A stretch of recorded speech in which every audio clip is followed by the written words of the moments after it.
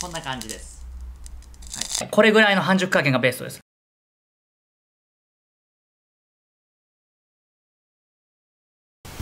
ふっとも料理のサリューです。ネタを考えてなかったんで今回は思考シリーズ。思考シリーズをやるときは一発目で撮ろうと思ってるんですいつもね。酔ってない時にやらないと思考な状態にならないんじゃないのかなと思うんですけども今日はね飲んでます。はい。結構飲んでます。酔っ払いが作る思考の親子丼を作ってくれるいろいろコツがあるのでちょっとやっていきたいと思うんですけどもえー、っとちょっとやっていきます。親子丼の材料を紹介していきたいと思います。僕の親子丼はね結構ねボリューミーな感じでやるので材料が特徴的ではあるんですけども鶏、えー、もも肉です。はいこいつ主役ですね。150g です。はい結構ねえー、っとお肉の量としては結構でかいです。はいえー、どちらかというと今回の親子丼は具を食べるような感じ感覚で作っていきます。でえー、っと玉ねぎ8分の1個。これは長ネギでも全然平気です。卵は、えー、とサイズを2個使える。三つ葉。たまに軽視する人がいるんですけど三つ葉って熱が通った時に結構香りが立つので、えこれはねあの入れた方が僕はいいと思います。なければ青ネギとかでもいいんですけどもあれば三つ葉を、え使ってください。里のご飯ですね。自分が一番美味しいと思う炊いたご飯を用意してください。はい、ということでですね、今回は、至高の親子丼っていうのをね、えー、っと、作っていきます。ちょっとね、えー、っと、通常の親子丼にはちょっと作り方が違うんですけども、これを作るために、一番重要なことを皆さんにお伝えさせていただきます。はい。親子丼はね、結構ね、繊細な料理なんですね。卵の塊具合、半熟にしなきゃいけなかったりとか、お肉にどれぐらい火を通したらいいのかっていう繊細な料理なんですね。繊細な料理を作るときに一番重要なものっていうのは何かというと、平常心なんです。えー心が一番落ち着くときって何ですか、え心が一番落ち着くときって何ですか？いろいろあると思いますね。音楽を、えー鑑賞してる時とかいろいろあると思うんです。僕が一番心が平常になるのはお酒を飲むお酒を飲むお酒を飲む時なんですね、えーお酒を飲んで心を平常心にしていきたいと思います。心がアルコールで現れていきます、はい、早速やっていきたいと思います。三つ葉です。えっとこうこう適当にこうこんな感じで刻んじゃってください。はいこんな感じでね。はい入れておきます。三つ葉はねハーブだと思ってください。どうしてもなかったらないでいいです。玉ねぎはねもうこんな感じでもうあの適当にスライスしていってください。はい。はいこんな感じでね、えーこんな感じで、えー薄くね。はい、えーここにですねまあ親子丼でも使う鍋があるんですけどもできればテフロン加工のがいいです。これはあの鍋なんですけどテフロン加工もされてる鍋なのでその前に平常心を保っていきます。皮目を最初に焼き付けたいんです。なぜかというと,、えーと親子丼結構その鶏の皮がブヨブヨ、えーしてたり、えーするので、えーそれを、えーと焼いてえーと油を出すこと。あと香ばしさを出すことですね。親子丼に香ばしさをつけるとものすごく美味しい親子丼になりますのでこれで味が変わります。熱したフライパンに皮目です。皮目入れてください。皮目だけ焼いていきます。中火ぐらい。皮目だけ焼いて、えーと油を出していくんですけども油油にちょっとちょっとだけ切る本当に本当に少しでいいです、はい、小さじ1あるかないかぐらい。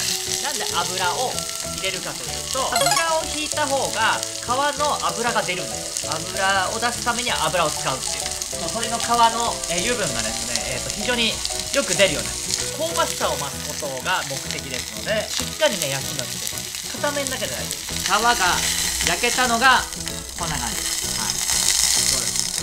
すすごくいい色ですそれでですね、えー、と油も抜けて、えーカロリーもカットになりますのでこんな感じです。鶏肉なんですけども、えーこいつはですね一口大にカットしていきますね。こんな感じで。でね皮はね焼いてあるのでねかなりね切れやすくなってますのでね。こんな感じで一口大にカットしていくと、えー食べやすいかなっていうふうに思います。こんな感じですね。でですね、えー、とこれから親子丼を、えー、と煮ていく作業に行くんですけどもまず必要なのが、えー、とこれぐらいですねち小さな鍋ですね。こういう鍋で作っていただいても結構なんですけども、えー僕は親子丼用の鍋は用意してないので、えーこのちっちゃい鍋で作ってください。これがですねその親子丼の上に乗る卵とじの大きさになるので丼に合わせた大きさ。長年研究してきて一番手軽で美味しいなと思った割り下をお教えします。お水を大さじ2半。みりんがね大さじ2です。みりんね結構入ります。白だしが大さじ1入ります。お醤油が大さじ1これが僕が求めた非常にえ美味しい親子丼の割り下です。玉ねぎを入れていきます。沸かしていくんですね。玉ねぎに少し火を通していきます。これが沸くまでは強火でいいですから、ね、その方が時短になりますからね。平常心を保っていきます最終的な玉ねぎの硬さなんかシャキシャキが好きな人とかクタクタが好きな人がいるんですけどもお好みで、えー、書いていただいて結構です。玉ねぎが少ししなっとしたなと思ったぐらいにですね。弱火にします。香ばしい鶏肉を入れていきます。はい。と150ぐらい入れてね、まあ、120ぐらいでもいいと思うんですけどね。少し火を強くしていきます。鶏肉と玉ねぎに火を通していきます。片面しか焼いてないのでまだねあの火の通りが完全じゃないのでねゆっくりと火を通していきます、はい、弱火にしちゃいます。はいそうしましたらですね鶏肉が煮えました。そしたら本当に弱火にします。まず卵1個。溶きます。軽くです。この白身と黄身が混ざり合った状態。これ。注ぐ時に計量カップでやるとこの注ぎ口があるのでこう糸を垂らすようにできるっていう利点があります、はい、結構綺麗に入る、はい、こんな感じですね。蓋をして半熟になるまで煮ていきます。ではですね、えー、とこれ1分ぐらい煮たところですね。まだね半熟の状態になってます、えー、とここでですね卵もう1回。今回はねたっぷりね2つ使うんでね。さっきみたいに軽く溶きます。でこれをまた流していきます。こうやって2段階にすることによってですねよりね半熟に近づきます。でこれもこの状態で三つ葉入れていきます。2つ目の卵を入れたらすぐ三つ葉ですよ、えー、これでですね、えーと、香りを出していきます。でこれで蓋を閉めます。50秒ぐらいかな。ちょっとね生感があっても美味しいので僕ね半熟が大好きなので、えー、それぐらいの火の取りかけでいきますでこんな感じになります。もうねいい感じの半熟具合になっても分かりますか。少しね白身残ってるんですけどもこれぐらいの半熟加減がベストです。あとはね余熱で火が通っていきますのであったかいご飯ですね。親子丼の鍋だったらすっごい簡単なんですけども、えー、ちょっとね親子丼専用の鍋ではないのでこんな感じでね、えー、と周りをね、えー、剥がしながら、えー、乗せていきます。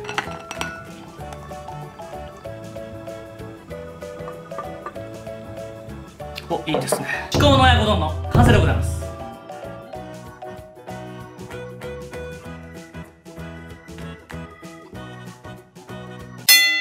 はいということでですねできましたので、えー、食べていきたいと思います。卵の塊具合がね非常にいいですね。白身のとろっと感がね。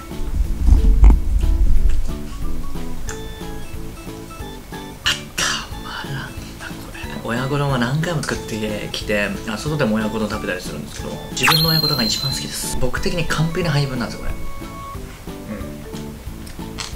れ。うん、うん、鶏の香ばしさがいいですね。この味に合わせたいのは日本酒です。趣味動画になってますけど。適度にね汁だくなところがね非常に美味しいですね。三つ葉の香りがね非常にね高級感をね出してるんですね。こんなうまい親子丼ったらねえよ。卵はね今回ねミディアムに仕上げてます、はい、もうちょっとレアなのが好きだったらもう少し、えー、煮るのを、え、弱めていただければまあ、ここら辺は好みなのでね、はい。もう少しコクが欲しい方は上に卵黄を落としてもいいですね。今回はオーソドックスな親子丼の形にさせていただきました。七味ですね。お酒と合わせてるのでね。七味はね、香りもね、ありますのでね、非常に相性がいいんですね。あー、マジ好きだわ、これ非常。これたっぷりのお肉がいいですね。つゆだくな仕様になってるんですね。レンジ親子丼っていうのをやったんですけどもえっ、と基本的に割り割り下の配分は同じなんですよあれって。何が違うって今回どこが違うのかっていうのがえっ、と鶏肉を焼いているところ三つ葉を加えてるところが全然違うんですね。今回はですねクオリティを上げてですね鶏肉を焼くっていう工程と三つ葉の香りを乗せるっていう工程があるんですね。フライパンで火を、えー、通すのが苦手だと。いう方は、えーと、材料を焼いて三つ葉も入れてから電子レンジにかけて大丈夫です。そういう応用方法もあります。どうしてもね、えーと、鍋を使ってしまうと必要に火が入りすぎたりっていうのがあるのでもし心配な方は、えー、そのままですねレンジで加熱してやるっていう風なのもできるんです。今回はオーソドックスに鍋でやるやり方を紹介させていただきました。本当に影響不足なんです。損をさせません。本当に美味しい親子丼になりますのでぜひ皆さん試してみてください。えー、今回の料理動画いかがでしたでしょうか？えー、作ってみたいなと思った方、えー、もしくはですね、えー、美味しそうだなと思った方、えー、ぜひですね、チャンネル高評価、えー、およびチャンネル登録をよろしくお願いいたします。